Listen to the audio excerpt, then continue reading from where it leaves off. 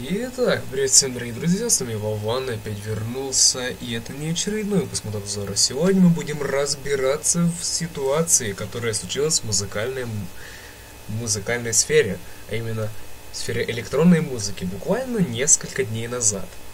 Я уже говорил в кратких новостях электронной музыки, хотя это был выпуск на полчаса, что э, Disciple создали под лейбл под названием Round Table – и в чем же дело? Сразу же во время того, как они создали Roundtable, э, сами Never Say Die были жестко против этого.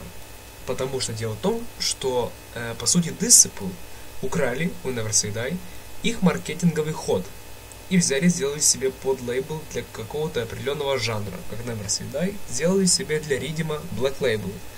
Они сразу же были жестко против этого, начали сразу же сравнивать там определенные обложки, хотя обложка была похожая только в релиза э, с Майро Disciple. По причине какой?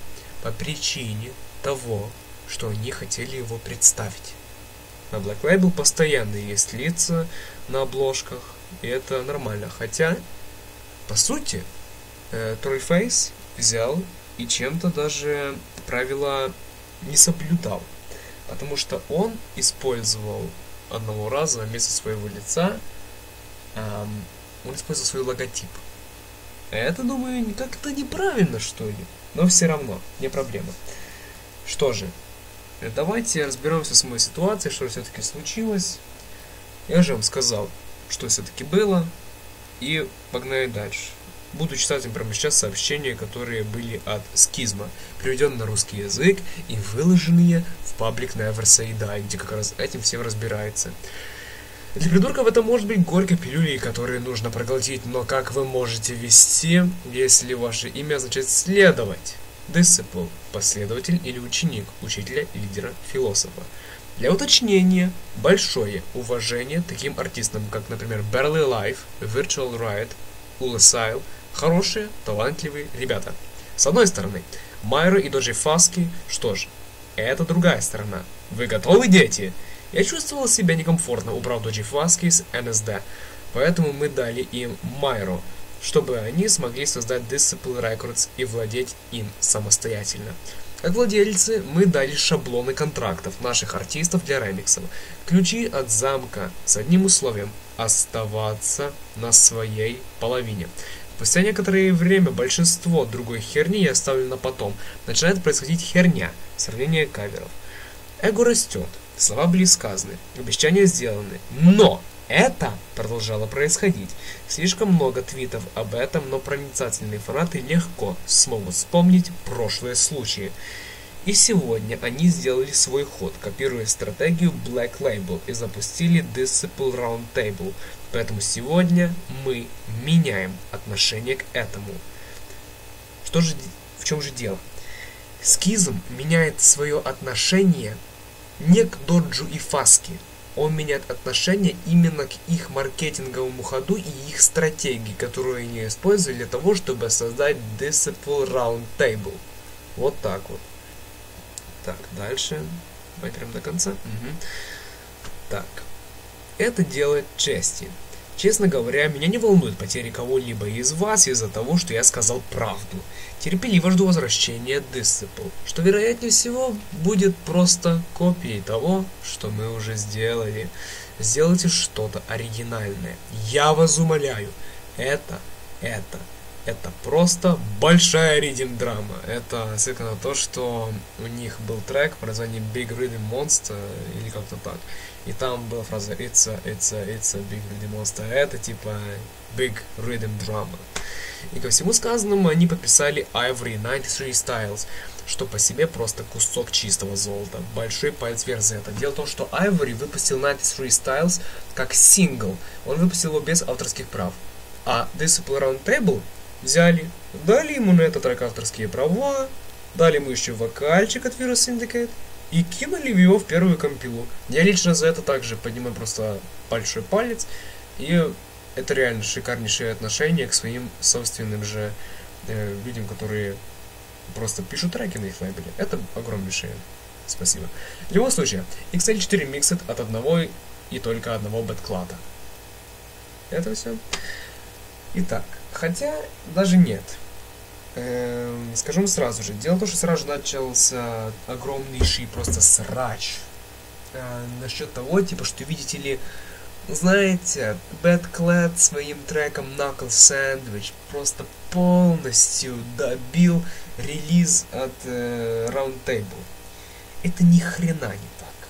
Смотрите, пока что Black Label э, в Excel 4 не знать, сколько будет еще треков самих. Может их будет только 10. Это маловато, знаете ли. Но все равно, продолжать можно. А в Roundtable их 22. Много? Много, премного. Причем что есть? Для начала, Black Label XL4 у нас есть только Knuckle Sandwich. Это все.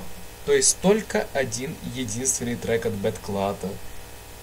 И то еще даже не было внимания ни микса, ни тизера. Был только трейлер, в котором они угорали с Disciple Round Table. Типа как маркетинговый ход. Типа, последний раз был виден тогда-то, тогда-то. Ну-ну, понимаете. Короче, в чем же также дело? Дело просто в чем. Смотрите, от Black Label пока что есть только этот Knuckle Sandwich. И в противовес ему идут треки от Dablotz, Уласа, Мурда, Samplifier, Аваминус, тот же самый Ivory, э, кроме того, кто еще? Monks, Chips, Infect, Графит, если я не забыл. Ну и что? И то есть, вот это вот один трек лучше других десяти? Да вы охренели. Потому что... Так, извиняюсь, ко мне призвонили некоторое время. Ну, короче, а, возвращаемся. Это что за хрень? Вы серьезно, типа, думаете, что один трек, который будет в Black Label XL4, переплюнет 22 трека, которые будут в Roundtable? Я вас умоляю, не смешите меня, пожалуйста. Потому что Roundtable пока что себя показывает лучше. А, именно тогда, когда будут все 10 или 11 треков будут объявлены и будут превьюшки, или даже там тот же самый тизер будет на Black Label XL4, вот тогда я смогу сравнить. Знаете, пока что сравнивать это полнейший дебилизм. Это то же самое, что, не знаю, там, сравнивать еще не родившуюся курицу полностью, там, знаете, там, яйцо, сравнивать с курицей, к примеру. Типа и говорить, что яйцо круче, чем курица. Это так и выглядит, серьезно. Типа, релиз еще не полноценный, даже не знают, кто там будет. Но нет, один трек переплюнет 22. Дебилизм. А теперь мы прочитаем именно те сообщения, которые были от э, Disciple, а именно от э, Доджи Фаски. Итак, я уверен, что большинство из вас видели посты и видео от Never Say Die и Schism вчера. Вы решили, что необходимо написать этот пост по поводу этой ситуации и рассказать суть дела. Для начала уточним, что это не маркетинговая уловка с нашей стороны или то, чего мы ожидали. Много обсуждений онлайн, что мы организовали этот фарс для рекламы нашего нового лейбла. Мы уверяем вас, что это не тот случай. То, что сказал Скизм и Ник о финансировании лейбла, было абсолютной правдой. По факту, есть еще много вещей, с которыми они нам помогли. Они способствовали развитию лейбла на ранней стадии, познакомили нас со многими контактами, включая нашего оригинального дистрибьютора, за что мы очень благодарны. Скорее всего, мы бы не были там, где мы сейчас без этого. С самого начала они всегда устанавливали стандарт того, как должен работать лейбл, и мы уважаем то, что они сделали. По поводу вчерашних комментариев в Твиттере и Фейсбуке мы поговорили со Скизом о случившемся, но не хотим публично освещать. Мы сделали это, потому что мы любим то, чем занимаемся. И, конечно, ради вас. Без вашей постоянной поддержки Disciple или другие лейблы не существовали бы. В такие моменты, как этот, когда есть много разногласий, мы считаем необходимым относиться с любовью и уважением к другим, так как одобрение разногласий не приведет ни к чему хорошему. Сейчас волнующее время для нашего лейбла в целом. С подписанием 12 Planet и запуском нового лейбла Display Roundtable в сотрудничестве с ним нам не терпится помочь артистам, заслуживающим внимания, и продвинуть их музыку которую мы так любим.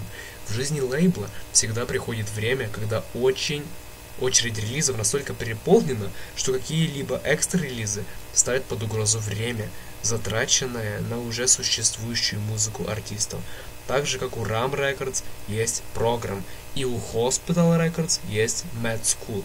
Мы приняли решение, что нам нужно расширяться. Мы не собирались делать плагиат Never Say Die или сделать это ради насмешки. Команда Disciple. Вот так. И также были еще последние на данный момент сообщения от Скизма. Так, а вот и они. Бррр, на вершушке айсберга холодно. Лол, если вы считаете, что все это только из-за нескольких артов, люди, знающие инсайды, знают, почему это произошло. Люди, не знающие деталей, могут говорить обо мне что захотят. Я не буду обижаться из-за того, что вы на верхушке, просто верхушке айсберга всего произошедшего. Я посвятил большую часть из моих 10 лет жизни дабстеп-сцене, и я продолжу это делать с высоко поднятой головой. Я никогда не упрекаю, если это не заслужили, и я помогал людям куда больше, чем упрекал их. И это, кстати, еще какая правда. Не собираюсь писать письмо. Если бы сделал это, то все было бы чертовски интереснее. С этим мы закончили. Что, наверное, значит то, что все-таки проблем уже никаких нету, как и между Die, так и между теми же самыми Disciple и их новым лейблом Disciple Roundtable. Концовка пока что хорошая, а потом нам надо будет сравнить Black Label XL4 и Roundtable. Так что, пожалуй, пока что всем пока. Сам был Ван, ставьте лайки, подписывайтесь на канал. Всем пока. Ждем информации о Black Label X4.